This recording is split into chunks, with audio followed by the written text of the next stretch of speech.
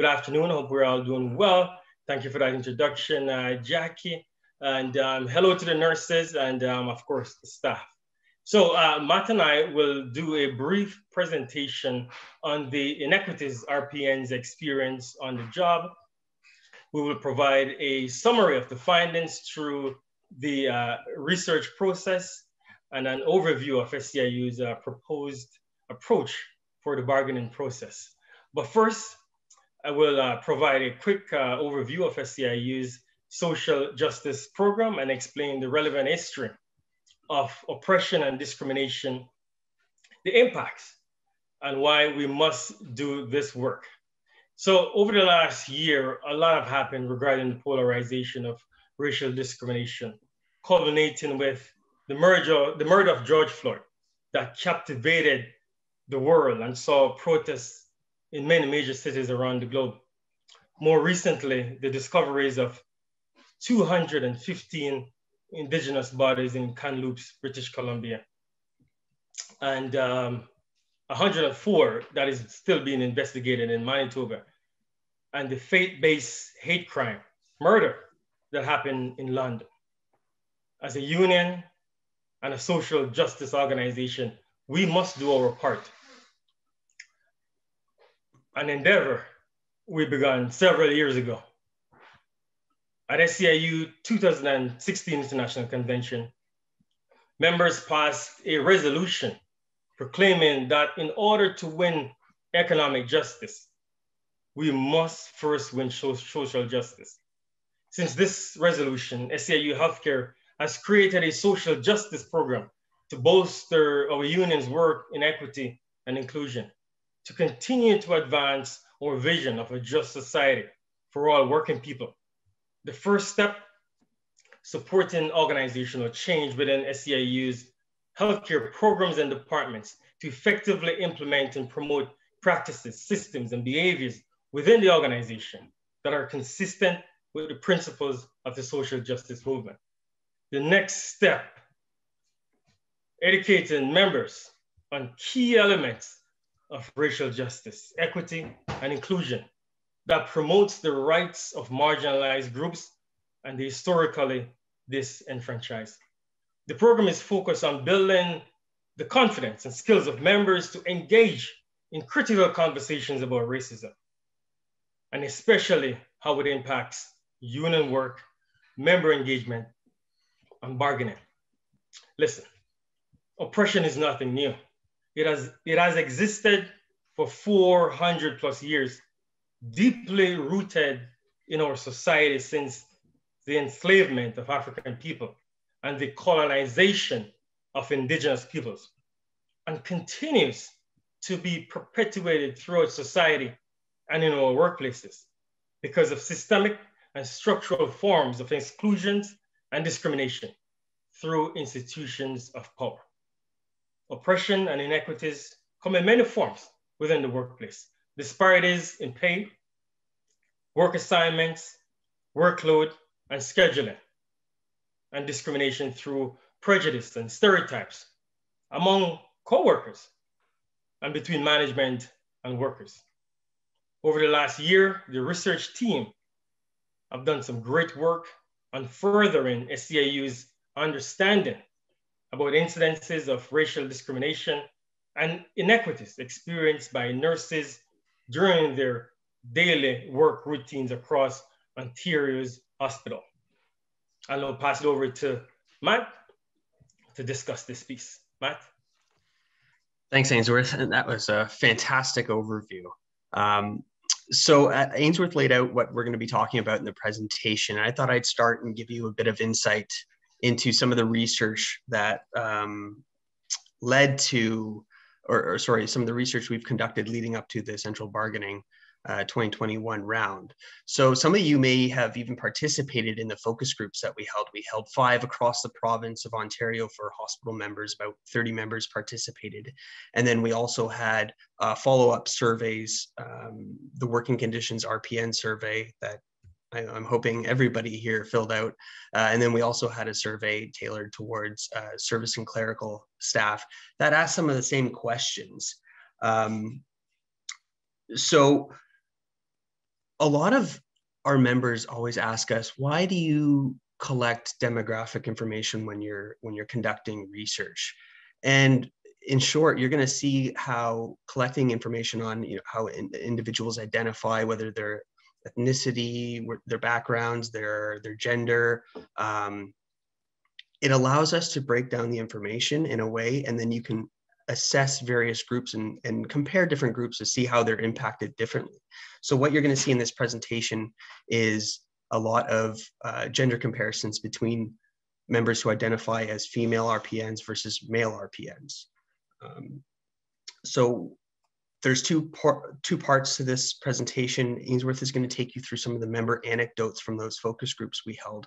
And I will talk more about some of the statistics comparing uh, the various types of R RPNs. Uh, and then without further ado, we'll, Ainsworth is going to take us through the current findings uh, from our research to date. Thank you there, Matt.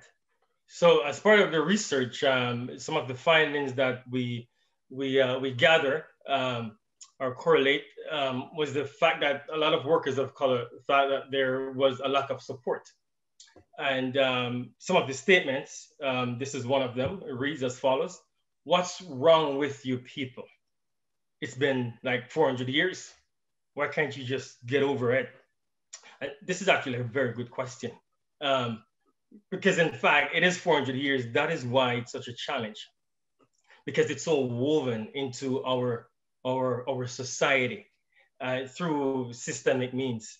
And individually, we, we all do a great job, you know, in fighting injustice, but we, we, we're still slaves to, um, pardon the pun, we're still um, challenged by the system that we, we still have to um, toe. We toe the line of certain system where we have to follow policies and procedures that actually harms others.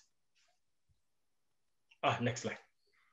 Management ignores mental health challenges. Um, this part of the comment reads as follows. I'm really depressed. I don't know what to do. I feel like I'm not doing anything right. I started crying and my supervisor asked me if I wanted to resign. First of all, what a prick listen, mental health is no joke. And over, over the last year, as a result of the pandemic, this have actually amplified a lot of these um, impacts on a lot of workers. So this is really unfortunate that we have management that is actually not supporting the worker, that is actually keeping many of those workplaces going. Next slide. Management ignores racism. This one reads as follows. You're just going to have to get used to it. Why are you so loud? Why are you so aggressive? Why are you so angry? You know, if, if we're supposed to take out the, the, the, the racist aspect out of this statement, it is still a horrible statement to say to anyone. But when you had that racism piece in there, and, and remember the, the, the historical trauma that is attached to racism, you can see how the hurt is even more amplified. This is so unfortunate. But this is why we have the social justice program. A lot of these issues will get um, addressed. It's going to take a lot of time, but um, it's going to get addressed in due time. Members forced to modify personality and behavior, behaviors. This is really unfortunate. I think we should be allowed to be who we are because who, who we are is what makes us who we are, right? I love that little phrase there. Next slide. Oh, it's a nice one here. And this is the last one actually, Socio socioeconomic inequities. So a restaurant donated food to the essential workers. We're told we can have leftovers after others have, are done with it. Well, first of all, ew, that's really nasty. I remember working at Sunnybrook Hospital where those doctors used to have their meetings and folks used to just rush into the room afterwards. That's nasty, folks. Don't do that. But listen, it doesn't matter who you are, it doesn't matter your job title. Um, everyone deserves the same amount of respect. And this is a lot of respect, disrespect, why those on the upper echelon in the workplace thinks something like this is actually okay. I'm going to kick it back over to Matt to talk about the uh, impacts of gender, uh, the impacts of gender and racial discrimination. Matt. Thanks, Ainsworth. So those are real quotes from our members that participated in the focus groups. It was an incredibly eye-opening experience, and honestly, it just fueled the, fueled the fire for wanting to do right by our members who experience uh, a lack of inclusion or racism or in, any sort of inequity within the workplace. So, in summarizing some of our uh, findings on impacts of gender and racial discrimination, members reported low productivity, anxiety, lack of dignity, personal modification, and a feeling of low self worth. Nobody should go to work on a daily basis and experience any of these things, especially some of the uh, things that Ainsworth, has covered. Um, it was it was quite the experience. Ainsworth moderated a few of the sessions, and I, am so happy we did it. It was the members loved it. Uh, it it really we we tried our best to create a really comfortable environment for everybody, and everybody opened up. It was it was a fantastic experience. So I'm going to talk a little bit more about some of the statistics um, tied in with the the research we did. These, these come from the working conditions RPN survey that about I think 700 of you or so filled out, you and your coworkers. Uh, and sorry, I'm just gonna have to minimize something real quick so I can see. There we go. Gender-based experience. So 90% of our RPNs that we surveyed uh, identify as female. We looked at the experience. Do workers feel like their work environment is inclusive? And we wanted to compare the male and female RPNs, as I mentioned. So 71% of men, male RPNs, uh, feel that their work environment is an inclusive one, compared to just 53% of the female RPNs. Physical assault experiences. Female RPNs report they experience, uh, or 65% of female RPNs report they've experienced physical assault compared to just 47% of men. Both numbers obviously too high, but you can see uh, the gender disparity in some of these statistics. Uh, and then next slide, I, I, like to just throw a forewarning in there. Um, we did a comparison of nurses who have experienced sexual assault. I understand we asked all of you this question, but um, it's always safer to put a, some forewarning. So uh, sexual assault, assault experience, one in four RPNs have experienced sexual assault at the workplace compared to their male counterparts who only one in seven male RPNs have experienced sexual assault. So you can see through some of the, the gender comparisons that the male and female experience is quite different and the, the statistics across the board are high. But um, when you look at through look at them comparing the two genders that members report, um, it's pretty disheartening and we have a lot of work to do.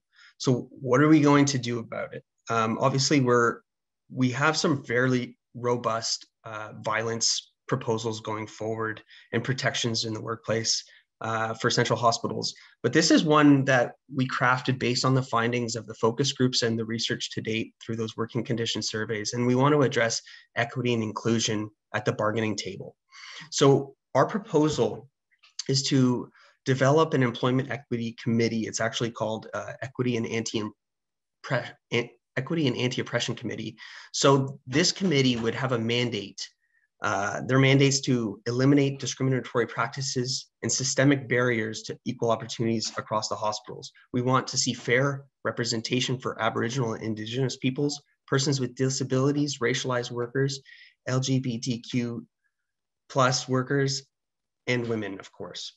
So some of the training topics uh, as part of our proposal, and, and the interesting thing is part of this proposal is not just to limit to training for you and your coworkers. We're going to be pushing at bargaining that supervisors and managers also take this training. I think it's incredibly important that you, your coworkers, and your supervisors do this training alongside one another. Um, everybody needs it. Clearly, as you can see in the anecdotes that Ainsworth shared, that a lot of this is top down, uh, directed towards the nurses. So we're looking at de-escalation training, anti-harassment, anti-oppression, anti-racism, inclusivity training, and cultural sensitivity training. Um, it's most definitely needed. Every worker should go into their job every day feeling like they belong, feeling like they're included, and also knowing that they have the supports and the recourse necessary if they do experience uh, any sort of oppression within the workplace. So now we're going to pivot and do, we are going to do a few poll questions that Ainsworth is going to introduce. And I think, Mark, I can stop my share and we can get into, okay, here we go. so I'll, I will, um, as you can see in front of you, we have three poll questions. I'll read off the first one, and then Ainsworth will take on the next two. So the first question is, do you support the creation of an inclusion and anti-oppression committee at your hospital that targets systemic barriers to equal opportunity while providing diversity and inclusion training? That relates specifically to the proposal we just presented. Ainsworth? Sorry. Uh, gender disparities in pay and employment advancement exist for women in the workplace with intentional change in policies, practices, and decision-making increase disparity and produce other unintended consequences? I guess the last question is, have you ever experienced or witnessed discrimination or racism at, at your hospital that was either explicit or subtle?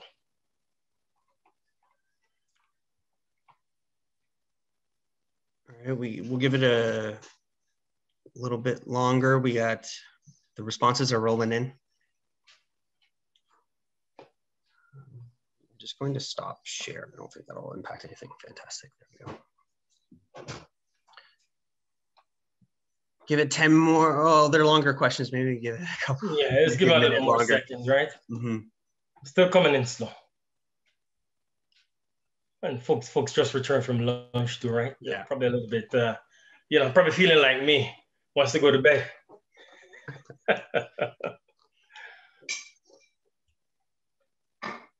almost at half, almost at half. So that means um, half of you hasn't, haven't replied. That's what half means, right? oh, forget silly Ainsworth.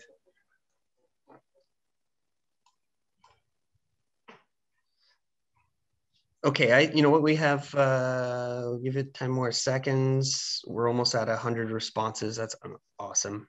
I mean, I know a lot of SEIU staff are on the call as well. How do I don't know if I don't know if it's possible to change an answer. Yeah, once you've taken the poll, unfortunately, you can't uh, change the response. Okay, so for the sake of time, I'm just going to start reading out the results uh, instead of I won't end the poll. Um, so seven, about almost 75% of those in attendance uh, voted. So 57% of you believe that this is important work and you want to be involved. Uh, 30% believe it's important, but may not want to participate.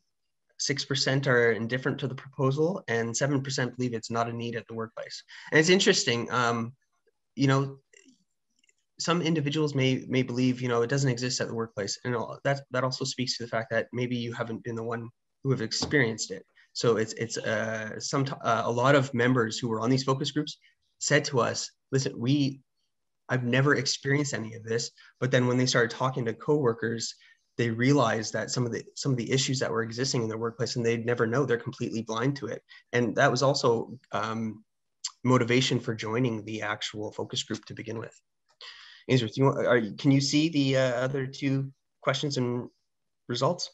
Oh yeah, I can. Yes, yes. So, uh, like.